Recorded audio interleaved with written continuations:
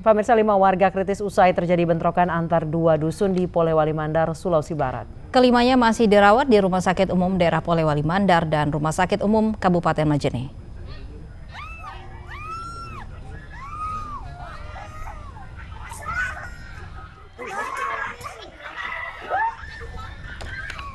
Selain lima warga kritis serta satu tewas akibat bentrokan antar warga di Desa Bala, Kecamatan Tuinambung, Polewali Mandar, Sulawesi Barat. Jumlah korban lainnya juga terluka parah pada bentrokan yang terjadi kemarin siang.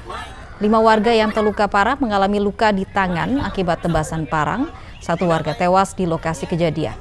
Ironisnya bentrokan warga terjadi akibat saling senggol saat rombongan arak-arakan kuda menari atau kuda patudu di acara maulid Nabi antar Dusun Talo dan Dusun Bala. Padahal kedua kubu yang bentrok masih memiliki hubungan keluarga. Acara Maulid Nabi yang seharusnya meriah akhir